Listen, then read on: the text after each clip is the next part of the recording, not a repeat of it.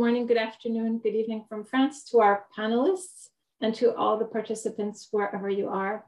Um, I have the honor of moderating today's session where we will hear from a very distinguished panel representing the European Commission, France, the US National Institute of Standards and Technology, the Institute of Electrical and Electronics Engineers, better known as IEEE, um, and the European Standardization Committee's CEN-CENELEC.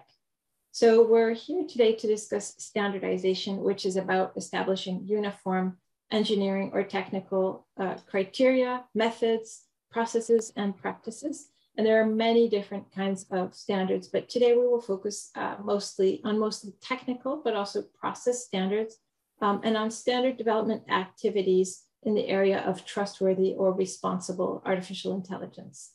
Um, and standards are key to ensure some uniformity in implementing the values we care about in the AI system lifecycle, including human rights, uh, for the uh, brought up uh, at length in the previous panel, um, and to allow interoperability between different systems and companies uh, while preventing lock-in.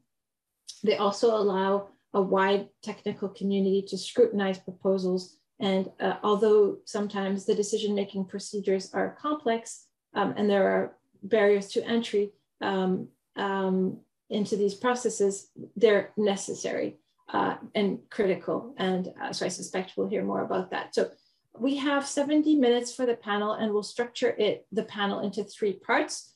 First, we'll focus on the AI standards and benchmark lands, benchmarks landscape today. What kind of standards are we talking about? Why, uh, why does it matter to create standards for trustworthy AI in the first place? Um, standards to accomplish what exactly? Uh, and where are we at in developing standards and benchmarks for AI? Who's been doing what so far? Um, second, we will discuss opportunities for international interoperability and particularly for cross-Atlantic interoperability and cooperation on standards, including uh, looking at looking at what are the gaps and what needs to be done to fill these gaps. And we'll try to project ourselves uh, just a few years from now and imagine what would success look like uh, in the standardization area for our panelists and, and identify some of the uh, top near-term priorities moving forward one to three years uh, from now. So really near term. So without further ado, let's get started. Um, so uh, we start with uh, our first uh, the first section of our panel on AI standards and benchmarks on the AI standards and benchmarks landscape. Um, where are we at today? Um, so we'll start with uh, Konstantinos. Um, Konstantinos, you are um, not appearing on my, I cannot see Konstantinos. I see you. Okay, did to. Um, so Konstantinos, you're the director of the IEEE, which is a global uh, standard development organization that's been working on AI uh, for a very long time, uh, at least as long as I've been working on AI, which was in 2016, um, when policymakers at the OECD and elsewhere started to turn their attention to AI. Um, and you very much helped raise awareness, um, their awareness uh, about the importance of this topic. So Konstantinos, could you get us started by explaining why we need standards for trustworthy or responsible AI, standards and benchmarks for what, and where is the IEEE at in terms of developing standards and benchmarks for AI? Thank you, Karin. And I very much remember the day I came to OECD with uh, my people and we had these discussions. And this started really your work there. And uh, well, we started several years ago for several reasons and standards can serve really several purposes. So this is a very good question. Uh, IEEE were a global democracy of technical experts. So what we do serves mainly our standards is to give instructions to ourselves how to do a better job. And they are very often also used by regulators or policymakers and so on. But the main purpose is to help our peers to do a better job in the design of systems. And uh, when we started uh, putting on the table the issue of uh, artificial intelligence and so in, uh, and these systems, the question was, what are you doing there? there is no problem. Just let the technology evolve. Uh, it is very premature. It is very early. You're going to hinder innovation. We didn't listen to these voices because we believe that, uh, that these technologies and systems have really a potential to be very intrusive and very pervasive in our everyday lives. And as somebody already mentioned, they are socio-technical systems. They are not just technical. That means we, as technical people, must assume our share of responsibility and to address these things as socio-technical, not only technical. And of course, many people don't like this because we are not used to do these things, but we have to. So we started very early and uh, we created global communities and they started very early to create standardization projects. So we are very mature now. Many of these projects now became standards and start uh, really their, uh, their path in the marketplace and so on. And uh, we're very pleased to see this happening because, uh, for instance, if we take this standard uh, IEEE 7000, it is the first ever which allows uh, technical people, system designers. Oh, yeah, to, it's okay, it's okay. Yeah. Yes. It, it, uh, am I okay to continue? So it, it allows uh, technical people and system designers to uh, do a better job by including non purely technical criteria into the system design. And this enlarges really the, uh, the way of our thinking and uh, makes, uh, by the way, this expression from uh, principles to practice, this goes the title of our introductory chapter in ethical aligned design. And now it is used worldwide, and we mean it. So it is not sufficient to have uh, high level principles. We must turn it to a level where technical people can do their work. And this is the main reason of IEEE standards. And we have now several of them in this area. And uh, we are very pleased also to see that other organizations have been inspired by this, and they're also developing families of standards. We do not regard this as competition. We're very pleased this happens because it was about a paradigm change in reality. We needed to convince the technical people to address these things, which are soft things. They are not hard. It's not hardware, eh? and this is now happening. So, and this is this gives raise for hope. So, yes, uh, and to conclude, our standards serve the purpose of uh, for better design. And second, we are working very closely with policymakers in several countries and regions, uh, listening to what they need. If they do a regulation, for instance, the regulation cannot do everything. They, it, can, it must stop at a level of abstraction. So what we work with them to deliver them the tools to make this regulation work in practice in the marketplace. And this is a, a, another reason for making standards. And for this, we made an, make an appeal to the global communities to work closely with policymakers and regulators because only together we can win this battlefield. And of course, uh, the companies, they have also their uh, business interests and so on, but this is not sufficient. We, they cannot self-regulate here. We need also the consciousness of the technical people and the regulatory uh, intervention of the regulators. And we have to work together to make this happen. And we are part of this game. Thank you, Konstantinos, for very inspiring comments as usual.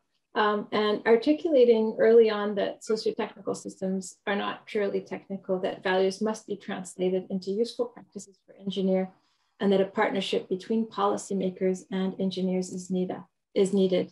Um, so now I'll turn to Lucilla Sioli.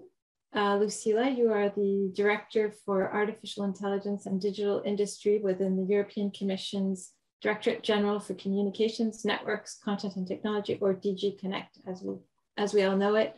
Um, in April this year, uh, the European Commission released an AI package, including uh, the EC review of the coordinated plan and for AI and the proposal for an AI Act to promote the development and deployment of innovative and trustworthy AI systems in the EU.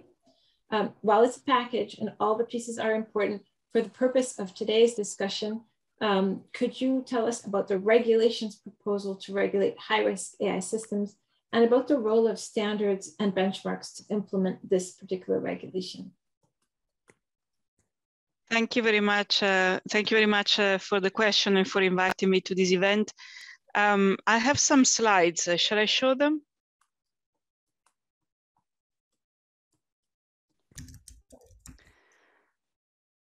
I hope you can uh, see them.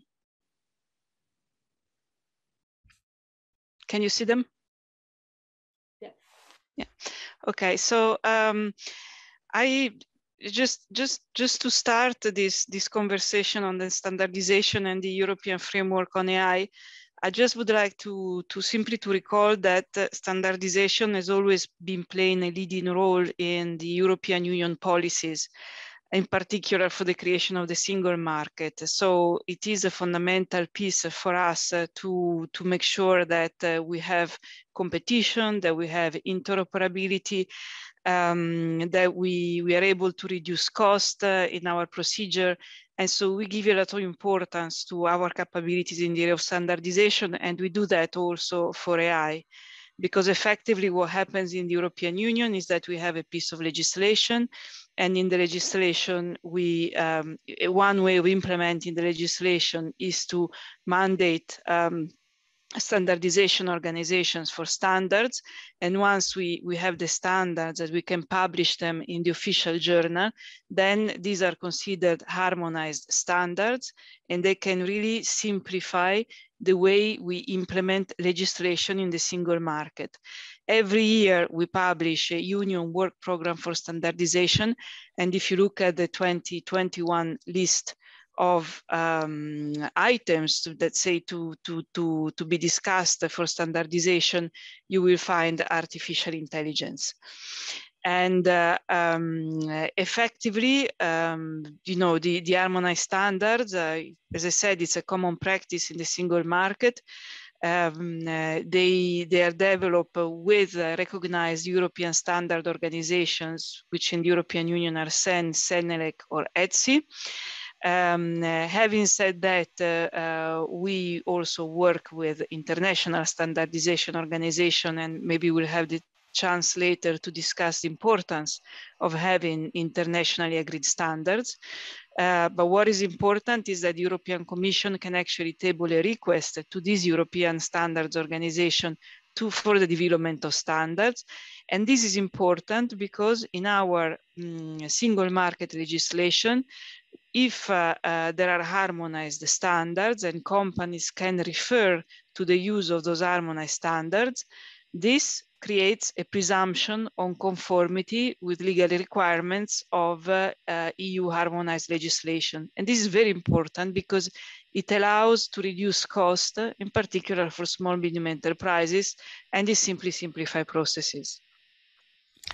Now, how do we apply this to the Artificial Intelligence Act? As you probably know, the Artificial Intelligence Act is an act that follows uh, and is built on our, let's say, product safety legislation. The panel before us discussed this, so whether this was the appropriate approach. Of course, we think it's the appropriate approach, but this is not what I'm going to discuss here.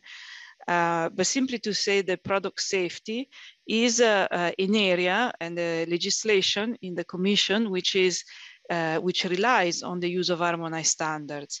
And so what we require in the AI legislation, which is built around the concept of CE marking basically, is that before high risk artificial intelligence systems are put on the market, and of course the legislation has a list of what we consider to be high risk use cases, those applications have to be checked by conformity um, uh, um, through conformity assessment and it has to be and they have to be checked on the basis of a list of requirements which are the five requirements that you see on this slide.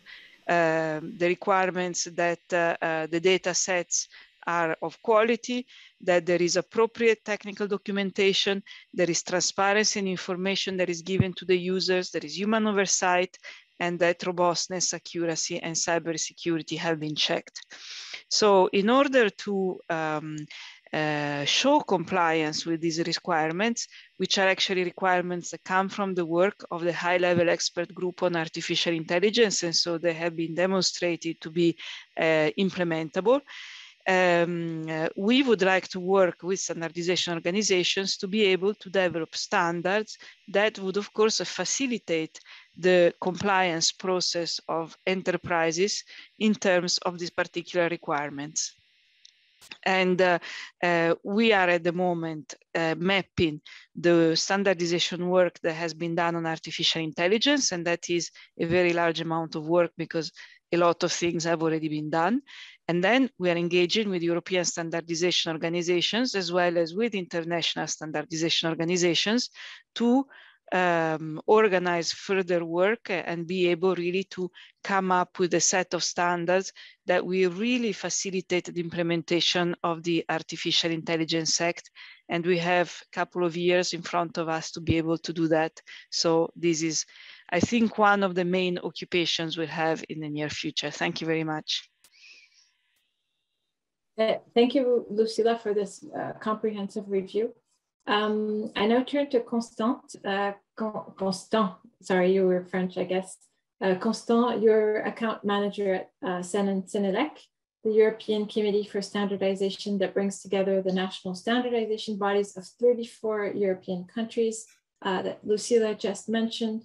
Um, and as Lucilla mentioned, the EU is looking to CENELEC to support the deployment of uh, standards for trustworthy AI in Europe.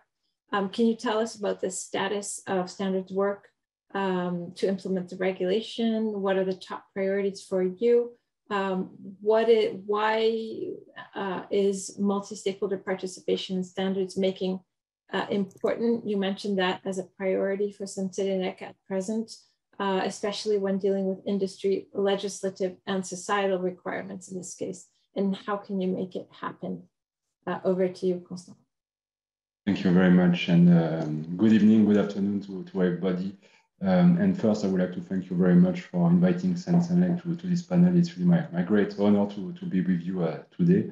So um, in order to, to, um, to provide some elements of feedback uh, to your question, uh, I think it's important to, uh, to, um, to recap what CENELEC are about, about uh, European Standardization Organization. As you mentioned, we bring together the national standardization bodies and national committees of 34 European countries to develop European standards and, and some European standardization deliverables. Uh, and it's very important to know that once a European standard is adopted in Europe, it becomes the national standards of uh, the different uh, countries in Europe, of, the, of our 34 members, removing any conflicting standard and therefore supporting the, the consolidation of, of the single market. Because it's true that as European Standardization um, Organization, we have been created specifically to support uh, the European single market.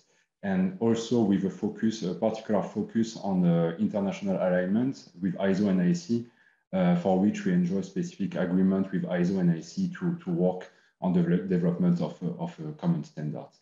And this is why, uh, on the other hand, we also aim at underpinning European legislation and policies, and that's why we are committed to a strong, resilient, and, and sustainable economy uh, in that respect, thanks to, uh, to standards and, and, and standardization deliverables. So I don't think uh, I will um, underline the, the, specific word in, in, of standards in that respect, but as you know, it's very important, as I mentioned, for the consolidation of the single market, to strengthen the competition of uh, the competitiveness of European companies and to create the, the condition for, for economic growth. Also we would like to refer to the CENELEC Strategy 2030, which has been uh, published a couple of months ago and, and which really pro, uh, provide a focus on, on those topics, especially on the green and digital transition with a, a dedicated focus on artificial intelligence. And that's why uh, the European standardization uh, system, which is made of CEN, CENELEC, and also ETSI, which is the third European standardization uh, organization, is very unique in the world because it is defined by the strong public and private partnership and also by the strong alignment with uh, international standardization in, in ISO and IEC. And that's why uh, with all our different stakeholders, which are not limited to industry uh, representative, but also societal organization at national or European level, we develop uh, market-driven standards uh, which focus also on the inclusiveness. That's why it's very important that uh, all relevant stakeholders, people, citizens are involved in the standardization process, and especially when we talk about artificial intelligence, because it has an impact on, on the life of the people. So it's very important to, uh, to, to be transparent, open, and consensus-based those are the key principles of CEN-CENELEC of European standardization. This is true for all sectors, but uh, this is uh, especially true when we will be uh, discussing the development of standards for, for artificial intelligence.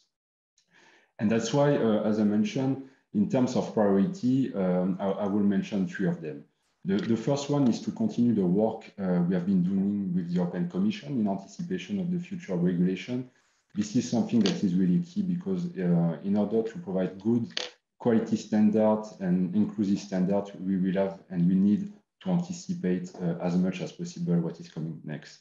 So indeed, we can rely on a strong cooperation with the European Commission Service, which are responsible of this file, and we have regular dialogue to make sure that we uh, can anticipate to the platform and the measure in place to be ready to deliver once the, the regulation will be, uh, will be adopted. So I mentioned this cooperation with the European Commission, but for that, I also would like to mention the, the, the cooperation with all relevant stakeholders, industry stakeholders, but also societal stakeholders. And within CEN-CENELEC, we do have specific processes in place to make sure that um, all those different stakeholders are involved at the right level. And for that, it's important to note the role of the national standardization bodies and national committees, which are who are aware of the of the national, of the local realities, and who knows the different stakeholders uh, that need to be involved. As a second priority, I would like to mention the development of standards themselves. Of course, as you can imagine, uh, we work closely with ISO, IEC, JTC1, SC42 on uh, artificial intelligence, which has already developed some standards. And that's why at CEN-CENELEC, uh, we are reviewing a couple of, of those standards to uh, select those that can be adopted as European standards. And of course, since we have this role of underpinning European policies and legislation, uh, we stand ready to develop what we call homegrown European standards that will specifically target uh, specific uh, European needs uh, in that respect. Um, as a third priority, I also would like to, to mention the ecosystem as such. Uh, and for that, I'm notably thinking about the integration of research projects into standardization. There are a lot of very interesting uh, research projects in Europe for which uh, the work can be transferred into standardization. I believe this is also something that can be for the successful development of standards in support of European legislation. And I also would like to, to mention uh, the cooperation with other standards developing organizations. Uh, for instance, IEEE, with whom we have started some uh, workshop activities, for instance, on the concept of uh, digital sovereignty and the impact on standardization and European and international standardization. So a very interesting piece of work. Uh, we, we work in the past with NIST on, on smart grid cybersecurity. I got good memories on that.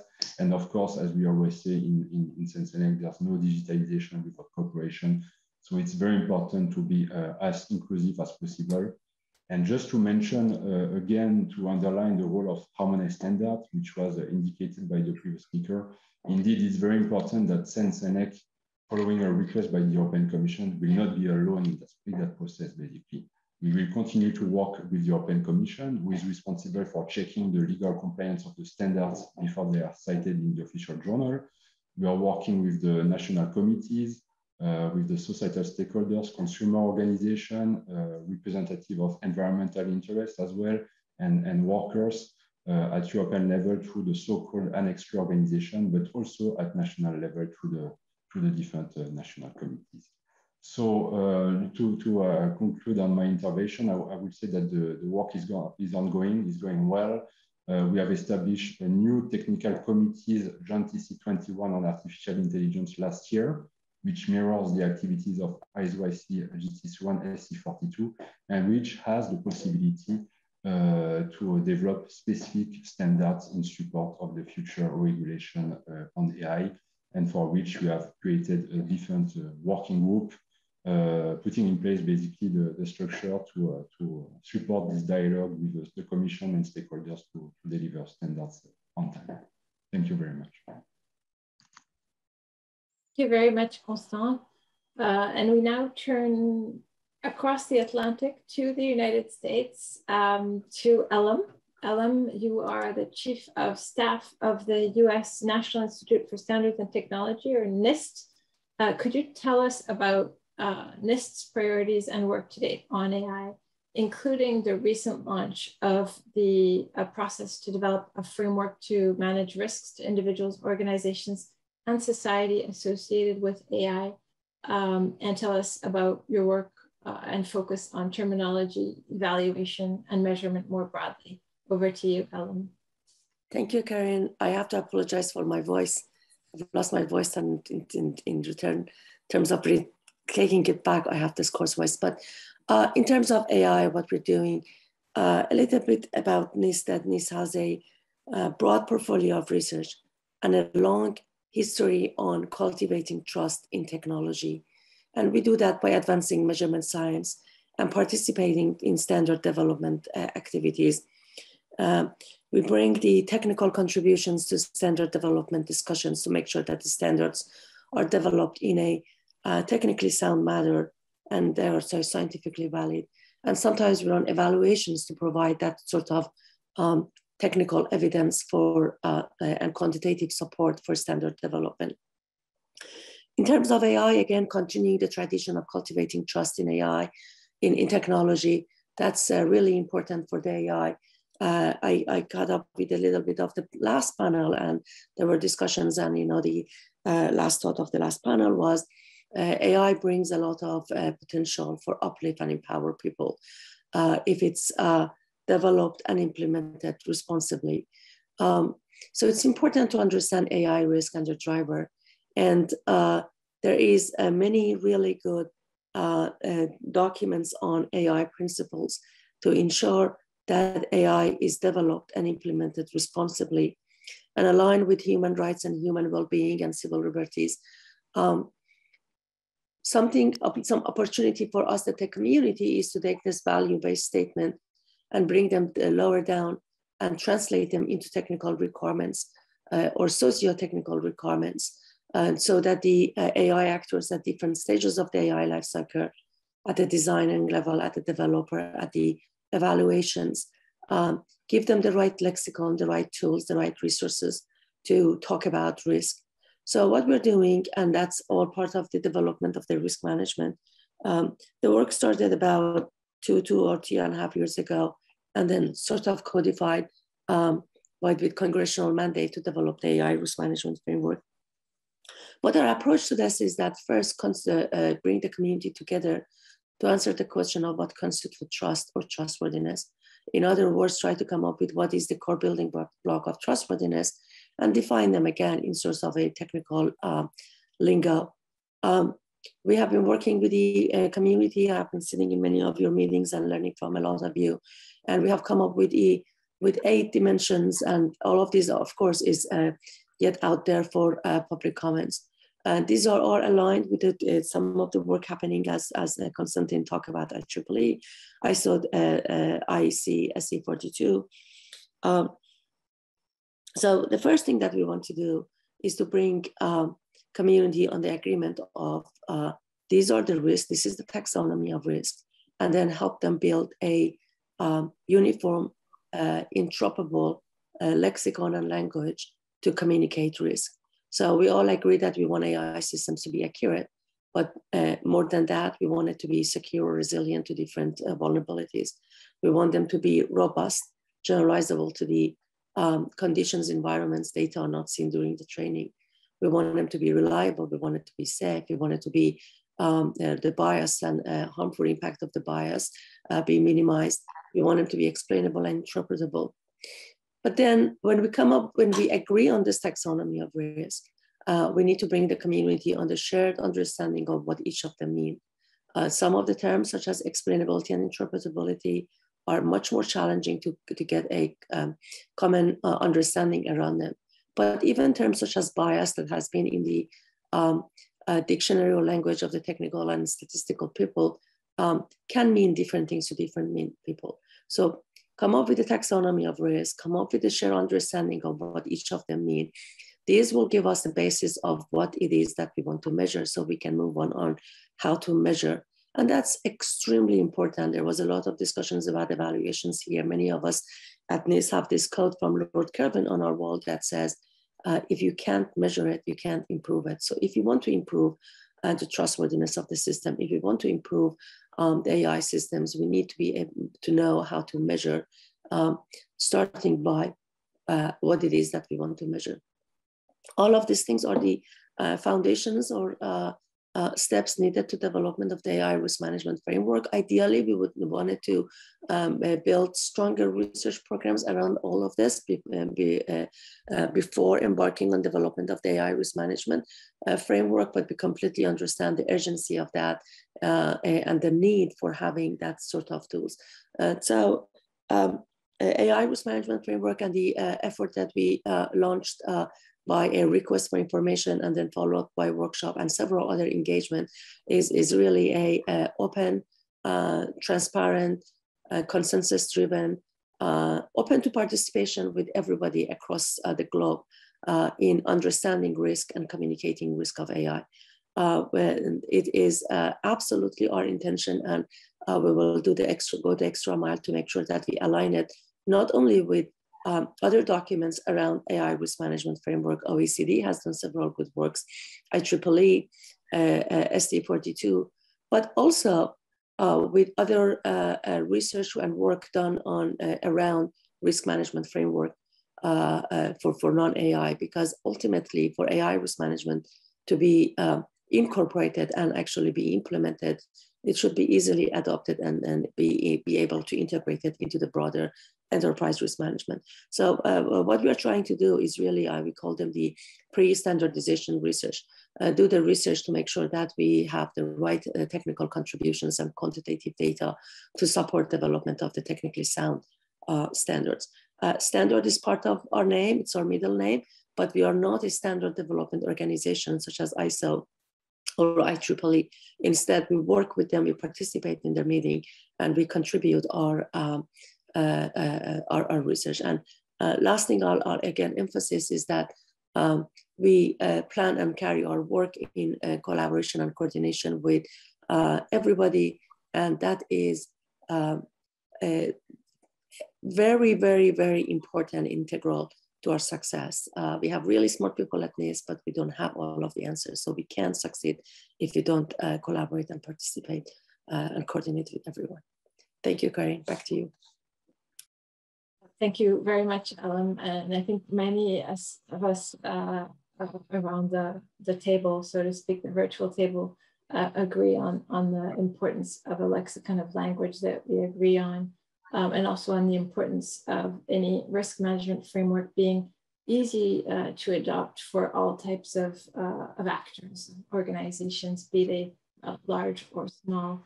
Um, so last but not least, we uh, turn to Renaud, um, who to provide us with a national perspective from France.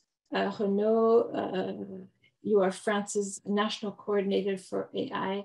Um, you contributed recently to the revision of the French AI strategy that was published just a few weeks ago. Uh, could you tell us uh, what is the role of standards and benchmarks for trustworthy AI from a national perspective in France?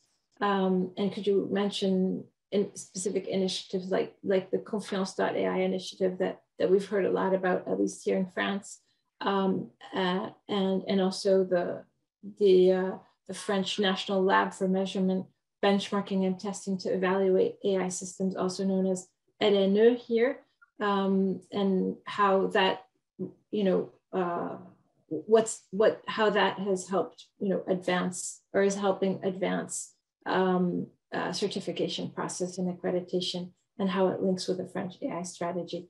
Renaud, over to you. Hello, Karin. Uh, hello, everybody. Of course, from a, French national viewpoint, I, I, share the vision of the regional or global players who have just followed one another. And I totally concur that the voluntary standardization of AI is both a major challenge and a major lever for the, for the sound development of AI and consequently, our national AI strategy gives it a substantial place. Uh, we think in France that standards are powerful enablers of, of uh, sound economic uh, and balanced development of AI. They are often more appropriate and granular than legislative horizontal tools. Those are necessary, but then you have to go deeper and more precisely in each domain. And this is also why we very much support the, the European subsidiarity way of, uh, of, uh, of approaching this and the new legislative framework and the recognition officially of, of the standards.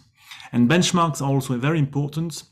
because they are a prerequisite for a true technological transparency in the market. When you're a um, policymaker or when you're a buyer, uh, you want to buy uh, not the, the, the system uh, which uh, bears the apparent uh, best performance, but you want to, uh, to, to detect whether it's the best inherently uh, tool and not the one that has had the chance to have already access to a, a, large volume of set of data and that can catch up and and and and super and and and be and be better again.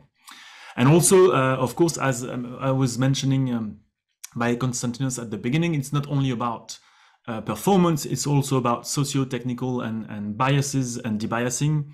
Uh, that are uh, embedded sometimes unconsciously in, into rules and data uh, and also well-constructed benchmark can help detect those.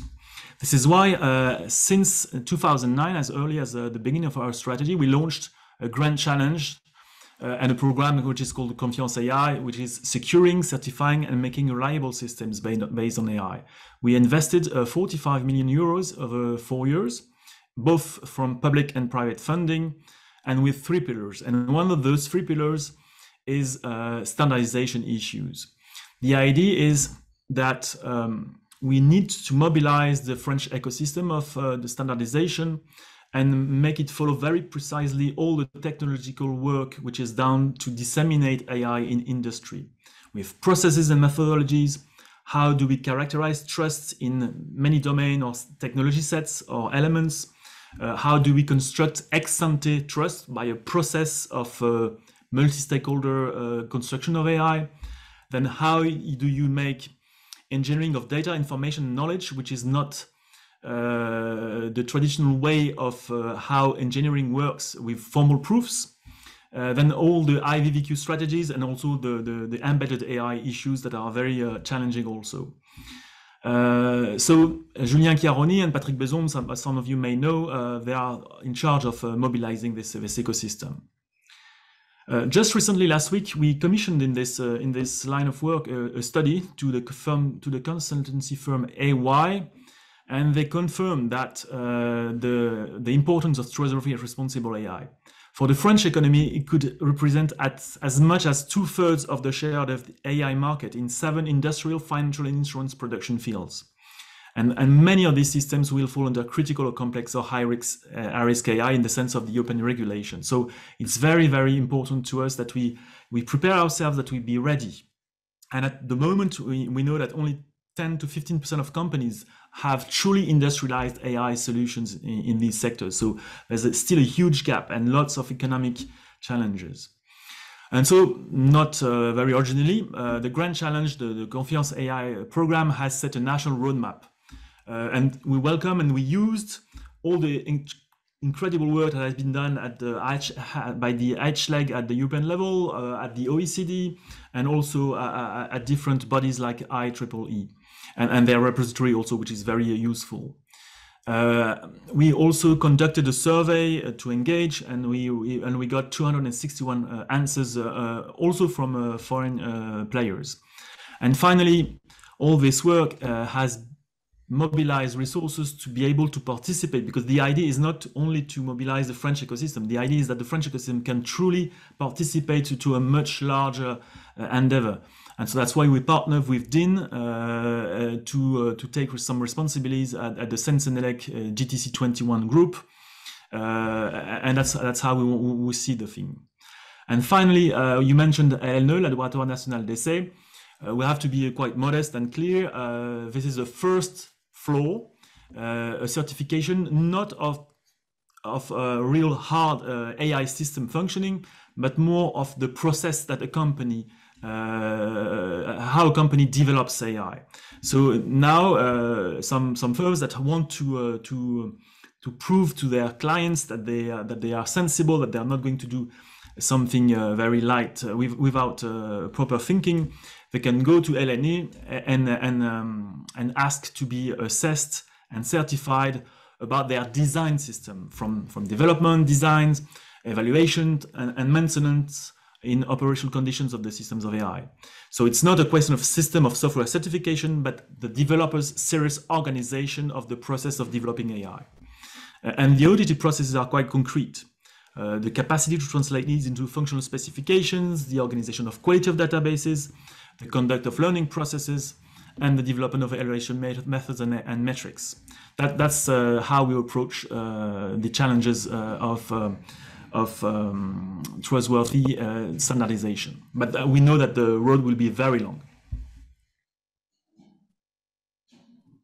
Thanks a lot, Renaud. Um, so there's so much to, to be said, but uh, in view of the time, we have a half hour left and we have two more really important uh, sections of the panel to go through. So I want to straight away go to the second part of the panel, which I think is critical for all of us, which is about opportunities for international cooperation with a focus on cross-Atlantic cooperation, so cooperation obviously in standardization and benchmarking. Um, and unfortunately, because we're running a little bit tight on time, we're going to have a little bit less time. So I'm going to ask you to keep your remarks a little briefer than originally planned. Um, and and uh, and I suspect that risk assessment and management and AI system lifecycle approaches will be core parts of this discussion on baselines for international interoperability. And in all these areas, luckily, we're not starting from scratch, uh, as was previously said. Um, so I'd like to start with you, Renaud, um, uh, by asking you to tell us about France's priorities for international cooperation on standards and benchmark, particularly as French, France uh, soon, very soon, takes over uh, the uh, EC, uh, the, sorry, the EU Council presidency. And what role do you see for different SDOs, standards development organizations like uh, AFNOR in France, uh, CEN-CENELEC, IEEE, ISO, and others We've had some elements of responses, but from an, would be uh, interested in hearing you know, the national perspective on this. Uh, do you these view these organizations as complementary or do you see some duplication or areas of improvement? Where should we focus our efforts towards interoperability uh, and what are you hearing from French companies um, on uh, working in AI and operating internationally? Over to you, Bruno. Well, I'll try to be briefer. Uh, well, in fact, uh, the, taking over the French presidency of the EU Council uh, means that we, you have to be on to be on the reserve. You have to to to leave other members, and you have to be the balance. So uh, it's not a it's not a, a way. Uh, it's not a, a, time when you can uh, lead or put your your own inputs. that, but that's that's the best way how Europe works. I think it's unavoidable that the work is carried out at all three levels of uh, geographical scale, national, European, and international. And I don't think those uh, levels are contradictory. I think they just uh, comfort each other. So I, think it's a very good thing. And often we replicate and we take ideas from others, and it's uh, the, the best way to do. Uh, it's better to compare uh, yourself with others. So it's a, it's a, it's a, it's a major utility, I think. Of course, sometimes uh, cross fertilization will have some gaps and some some a bit of friction, but that's the that's the normal way.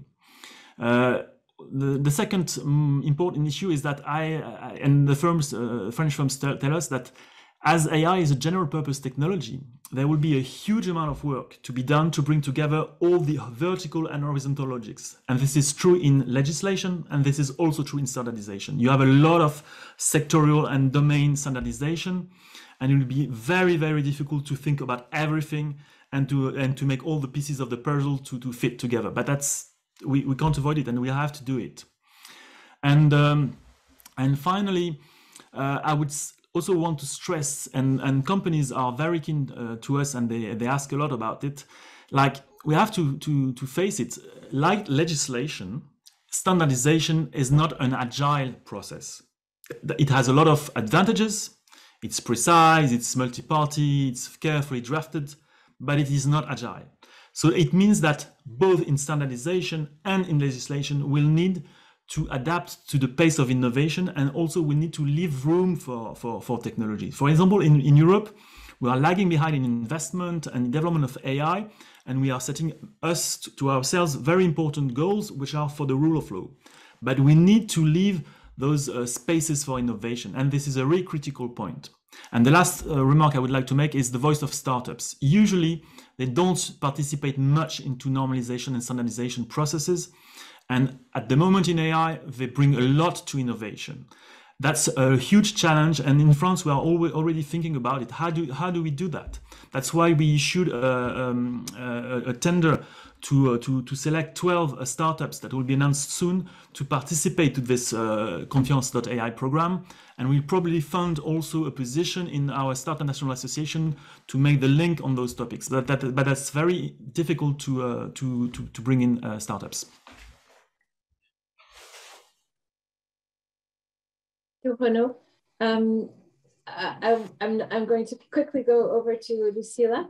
Um, could you, Lucilla, share with us your thoughts on international interoperability between EU member states and also with like-minded countries uh, such as OECD member countries? Those are the ones I think about, uh, of course, because I work at the OECD, um, uh, particularly those across the Atlantic that are uh, more heavily represented uh, in this panel. Um, and how's the EU cooperating with regional and international standards bodies? Uh, and also what's the role for bilateral uh, cooperation um, uh, as there are several, programs have already been mentioned and, and that are ongoing. Um, should we be trying to bake in interoperability into our compliance and assurance frameworks by design? And if yes, uh, what do you see as some of the key buildings, building blocks to do that? Well, thanks. So first, let me say, um, link to my previous intervention that uh, uh, the fact that we ask European standardization organization to develop standards to support um, the requirements of the European artificial intelligence sector, we, it doesn't mean that uh, harmonized European standards are only, uh, by definition, European standards. In fact, we um, have there are appropriate agreements in place between European Standardization Organization and international standardization organizations, and so uh, we often use international standards at the European level. Actually, I think that uh, we tend to develop European-only standards when international standards are not uh, really developed. And so, for example, um, recently there has been an approval at uh, uh, ISO level of uh, a new work item on uh, biometric identification standard, uh, which we welcome very much. Um, now, it's obvious that in this work, we need to work with uh, like-minded partners. And, and of course, we work, we have standardization dialogues with um, like-minded partners that we often meet in the OECD meetings, as you say, but also I want to uh, say hello also to uh, Elham Tabassi because we meet uh, in the meetings of the TTC. The TTC is the Trade and Technology Council between the European Union and the United States. And we have discussions now with, with NIST on artificial intelligence. And I hope we can do something together, not on standards, like she said, uh, uh, but uh, on measurements and tools that we can um, together try to, to find a way of uh, successfully measuring some important element of trustworthy AI. But you know, there is a lot of um, um, uh, movement in standardization, artificial intelligence. There are many actors involved, and um, which is very positive. But at the same time, we have to make sure that all these parallel tracks are not uh, uh, creating inconsistent solutions and are not uh, duplicating all the efforts that we have to do. So I, I just conclude by saying that I welcome very much the example of uh, an initiative that has been put in place by the OECD to create a database that provides um, the AI actors and the policymakers with comparable information on tools and methods uh, and standards which have been developed worldwide uh, to, to implement trustworthy AI in different contexts. I think this is a very useful initiative and um, and I, I hope uh, in any case that we will continue these kind of discussions also in the OECD. Thank you, uh, thank you, Lucy. That that's our core priority, one of our core priorities right now, and we we we uh, we're working with partners.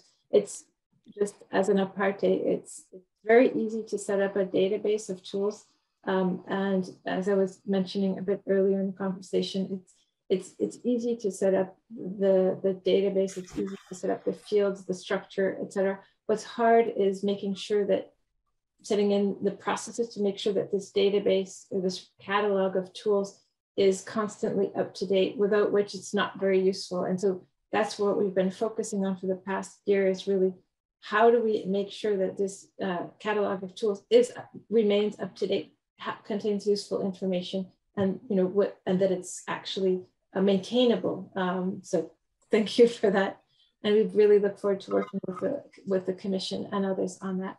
Um, so now I'll, I'll turn to Constant. Sorry, Constant. I keep um, calling you Constant. To Constant and with Elham both uh, to ask you both the same question. So first Constant and then Elham. Uh, what do you see as best practices or at least good practices for cooperation between uh, po policymakers and standards development organizations at the European, US, and broader international levels? Um, what are some of the key challenges you encounter, if any?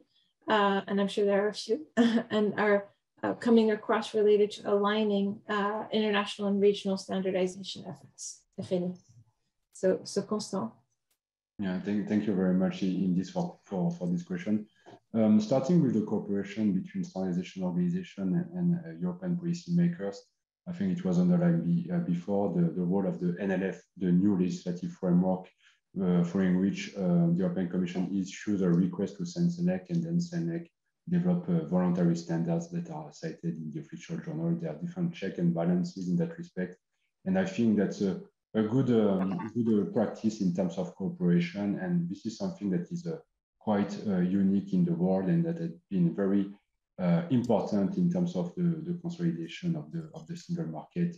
And as it was mentioned, indeed, for having standards cited in the official journal that give presumption of conformity, it does not have to be pure European standard. It can also uh, be international standards that have been adopted as, at European standards. So that's for, for the cooperation with uh, policymakers. Between SDOs, I would say that when it comes to CEN-CENELEC, we have these uh, natural links uh, with ISO and IEC through the national standardization body and national committees to involve uh, at international level on, on, topics that are also of interest for Europe. So the collaboration over there is, uh, is very strong between the national standardization body and national committees.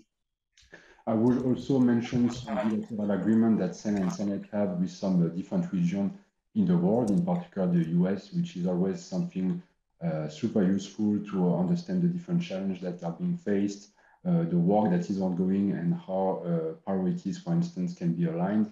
And last but not least, in terms of cooperation with uh, European and international SDOs, I would like to mention the European Commission's uh, multi-stakeholder platform on, on ICT standardization, which brings together a representative for European and international SDOs, the European Standardization Organization, but also European member states, and of course the European Commission to, uh, to discuss on, on, on relevant ICT-related standardization topics. The one on AI has been on the agenda for multiple meetings of the, of the MSP, and which has been uh, very key to, to advance uh, on this topic. Thank you. Uh, Elham?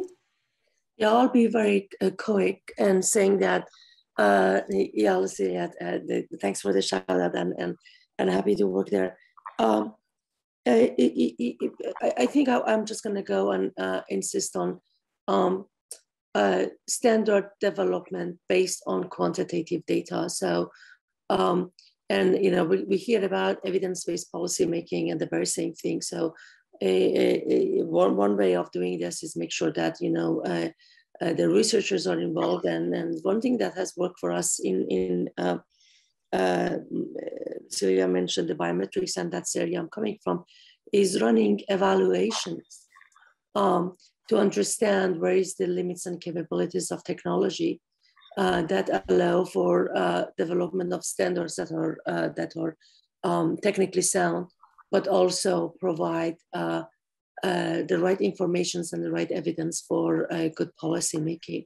And so I'll, I'll, I'll just emphasize on the, uh, we call them pre-standardization research. And I think that, that would be good to uh, do a lot of collaborations around that. And something that can be done is um, uh, come up with, uh, again, you know, uh, we talk about the importance of the terminology and taxonomy, but also on the metrics, right? So uh, agree on the metrics. We, again, talking about the importance of the evaluations, we run it in the, you know, with the academic papers a lot that uh, uh, they come and, you know, you, you see it and you, they, they tell you that this works really well, but uh, in uh, uh, we don't really know uh, everything about how the evaluations was done. Uh, uh, not even all the information is about the metrics, but even more importantly, the data that used for the testing, right? The data is easy, everybody passes, the data is difficult, everybody fails. So I think one area that would be very good is, is um, advancing uh, uh, measurement science, advancing evaluations, have a better understanding on, on again, what to measure, how to measure, and, and a sort of standardized way of uh, uh, uh getting the right data for test, getting the right metric for test, uh, the, the standardized methodology, but also standardized reporting of the results. Um, and, and that would be good for standard development, that would be good for policy making as well. Um, in terms of your second questions about uh, alignment of the national and international, uh, uh, most of the work that we're doing is, is around you know, contribution to the ISO and our international standards. But I completely understand that um, I agree what, uh, what Konstantin said at the beginning of the call, that uh, more players uh, a, a, stronger ecosystem of standard development organizations is better for the community. Uh, it's also important to uh, align and uh, keep the liaison and understanding, so make sure that they are all uh, going in the same direction.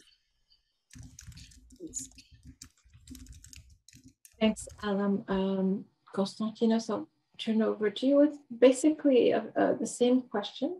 Um, if, you know, to Fred, maybe react to Constant and Elham, um, and, and, and tell us what you see as the role for uh, cooperation globally uh, uh, and cross-Atlantic um, and gaps and challenges and how we can address them.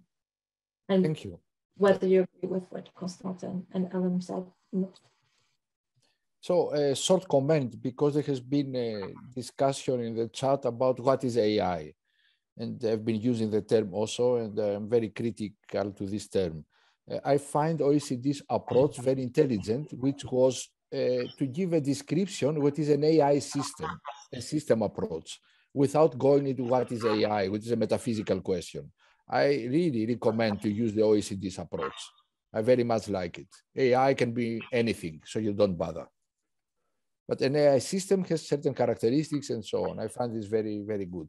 Now about international cooperation. To cooperate, you must have partners. And we are very pleased to see now that almost everybody, uh, every standardization organization, also national ones, explicitly address the contextual aspects of AI systems. This was not so six years ago. Now it is happening, and we're very pleased to see this. And uh, we offer our cooperation to everyone, and this can have really different uh, directions and dimensions. As Constant mentioned, we uh, working now together with CEN-CENELEC, bringing our uh, expertise and our assets to CEN-CENELEC and offering them to use them the way they see fit for the purposes. Eh? We started. And uh, we offer this also to national bodies. And we are ready to take what they have done and work on them further.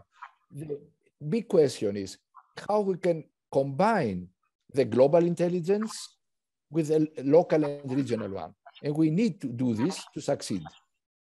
And for us, there is no the not invented here principle. If somebody does something which is good, we ask them, can we use it? So we expect others who see what we do and they like it to just ask us to have it. And we're going to give it because it is very important. We can, nobody can do it alone, and we have to work together. Now, regarding uh, the transatlantic dimension, we are a global organization, and we are very cautious not to favor one region over the others. And uh, we have really fantastic uh, participation from everywhere. I must say, however, that for these specific issues we are talking here, the Europeans are very active. And almost all our standard projects are led by Europeans. And we have a fantastic participation from Europe. And the whole intelligence comes from Europe because they, somehow they understand this. Historic, I don't know what are the reasons. And also we have about 40% women participating, which is a fantastic uh, number for any standardization project. Usually it is 5%. And in, in this project, we have 40%. And most of the leaders are women because it's about the context probably. So, but Still, there is an affinity transatlantic. And I am not ashamed of saying this. We share common political values because it is also about defending our democracy uh, towards technology. Because as somebody said in the previous panel, uh, technology undermines democracy. Very clearly, we see this happening. So what can we do as technical people to work against this? And we can do. So we have a shared value. This is why with uh, Paul Nemitz, we published a manifesto, how we can defend democracy in the times of AI. This was not a coincidence. And I am, uh, uh, I was one of the two people who started this. So we can do something. And we should do this. We should protect our core values. And for the West, it is democracy. And we have really to say this very clearly and to defend it towards uh, any other uh, attempts.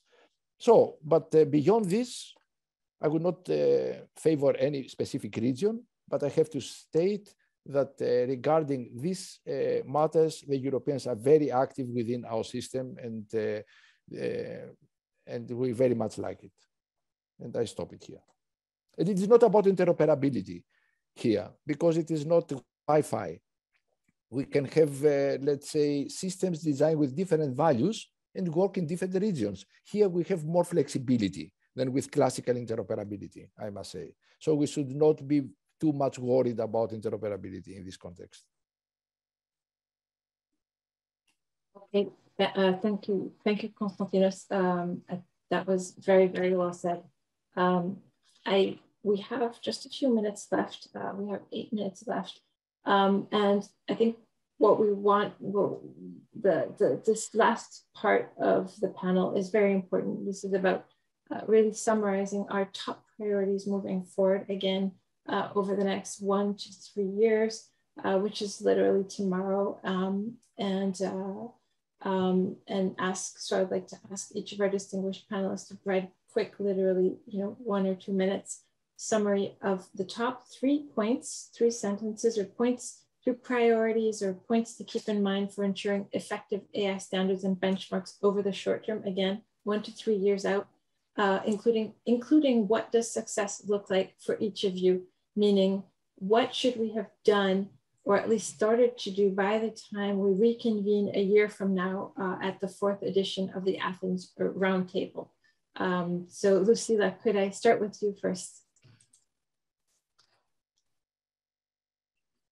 Thank you. So uh, I think that for the next uh, two or three years, uh, we are certainly, um, uh, um, you know, before the, the, the, Artificial Intelligence Act in the European Union enters in force, we, we are working hard on the development of standards and we really would like to have some European harmonized standards that really help the, also the smaller enterprises in uh, uh, participating to, to the artificial intelligence market. And if you ask me what are the most important things in terms of standardization, I think that it will be very important to ensure the involvement of the appropriate stakeholders, also of the regulators, because uh, if uh, the regulators, the stakeholders, and the, the standardization organization don't work together, they, they, it will be difficult to deliver good quality standards that we can actually use in practice. And then I think that uh, measurement is important, that was already said, but also that pre-standardization activities are used.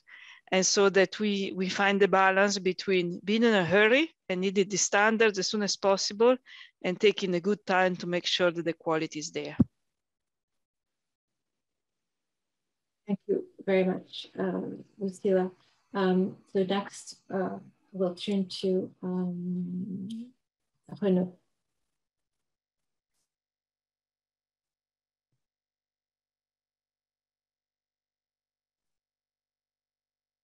My wish is that uh, we are able to win the race that separates us between the now and the entry in force of our future obligations, which are which are very noble. This means having actionable standards this means ha having trusted operational tools that are linked to those standards and developed by bodies. And that also means, uh, as, as I was said by, um, by Lucilla, to have uh, regulators, especially those of Annex 2 in the AI regulation, that, that are fit and, uh, and ready to embed AI. And, uh, and really now we, we, see in many organizations there's a, a hard time moving from data science to production. And then we'll need to go from production to a life cycle management. And that's a huge uh, challenge. Thank you. Thank you very much. Elham, can I turn to you? Yes, I'll be brief. Measurement, if you cannot measure it, you cannot improve it. And number two, inclusivity, as uh, Lucilla said, we want everybody from you know diversity of thought. We want uh, computer scientists mathematicians statisticians but also cognitive scientists psychologists lawyers uh, regulators policymaker uh, around the table from the beginning of the discussion. And uh, we also want uh, diversity of demographics. We want to know um, um, uh, the, the possible harms if you don't have, if you don't reach out to everyone. As what, so we're gonna be doing in the, up to next year. I hope I have uh, good reports on the advances on the AI risk management framework by the next time we meet. Uh, uh great discussion, thanks for having me. Thank you, Elham. Uh, Constant, over to you.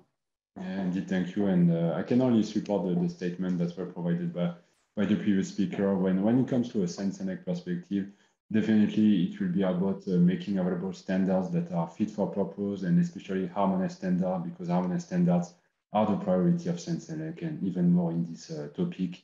And so I believe we have an important momentum to, to bring around the table other relevant stakeholders, societal regulators, industry, etc. We, we need to keep this momentum and, and to work uh, all together towards common goals.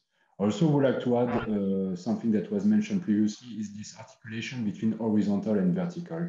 This is also something that will be very important for, for the uptake of, of standards and AI solution in that respect. So I hope that from one year from now, we will have made good progress, uh, good significant progress when it comes to, to harmonize standards with our relevant stakeholders. Thank you.